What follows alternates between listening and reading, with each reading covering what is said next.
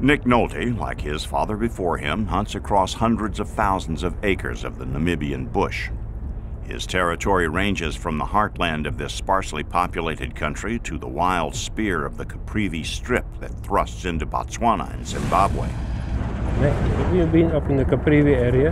No, no, never have. More flat, no mountains, big rivers like the Okavango River, Yeah. the Chobe, Linyanti, a lot of elephant up there, a lot of hippo. Also, nice area to hunt buffalo. Among all the Namibian game, though, the eland may be the sternest test. Two species of these enormous antelope inhabit Africa. The common eland is found across the east and down into the south, while the giant eland's home is central and far western Africa. Mick, Yeah. the elands were drinking here. Eland bowl. Yeah. Here's fresh droppings here. Looks like a few balls, according to the tracks. Let's give it a shot.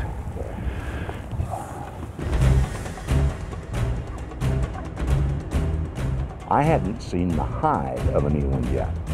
We'd seen a lot of spoor. I'd seen a lot of eland tracks. I had been told that some of these tracks were very big tracks.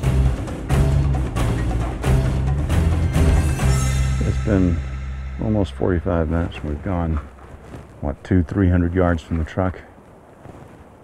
Yeah. Time to move on. It's quite a flat area. Here and there you have the big rubber beds and so we can move up this way and see. Maybe we're lucky. Diligence, wrote Miguel de Cervantes, is the mother of good fortune. But as the tracking across the grassy plains turned into hours of trudging, we were experiencing more diligence than good fortune, and far more than eland, as ephemeral as smoke. Well, now this is becoming just all too familiar. We spot all manner of fresh spoor. Follow it up, only to realize that they've gone into the heavy cover where we would have just about snowball's chance in hell of finding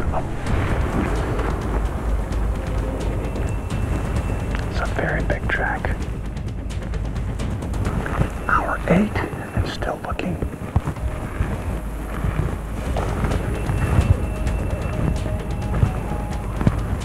At last, it seemed as if the diligence Cervantes spoke of was going to bear good fortune when Nick spotted a flash of an eland bull on the fringe of the thorn cover.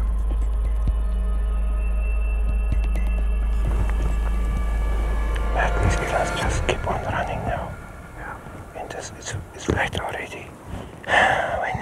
We nearly got them there. Just, just, just too much brush. Yeah. Yeah. I saw the uh, the big bull for an instant in my scope, but that was it. Oh well. We got now two days on this uh, eland. We took off in, uh, in the direction where we saw them the day before, but we couldn't find that eland, so we we spot some other eland balls which were just finished drinking water and feeding back to the thick bush where they came from that early morning. You see that big tree? Yeah. Just on the left there, some eland walking there. Got him.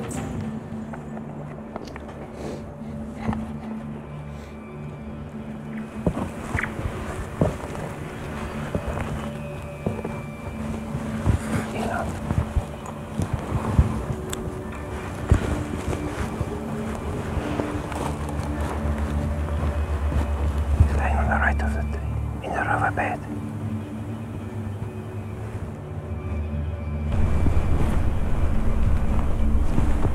Watch out, there's another one behind him.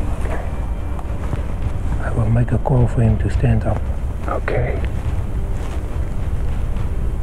Ah. Ah. Good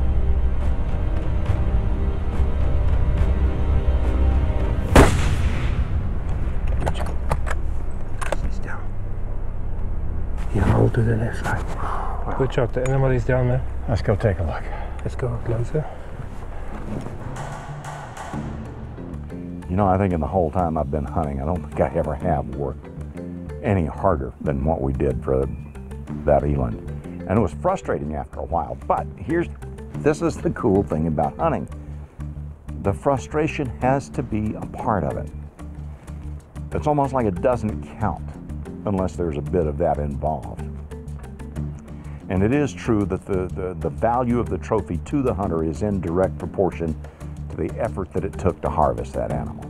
And so this eland, if I live to be 110, and that thing's hanging on my wall, I will be telling my great grandchildren the story of walking for two and a half days to get that son of a gun.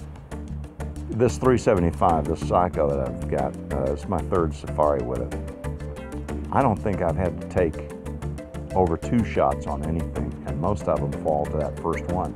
So I'm, I'm very happy with this rifle. I'm very happy with the ammunition.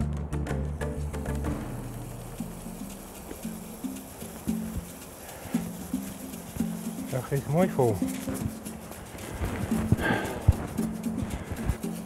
Congratulations, Mac.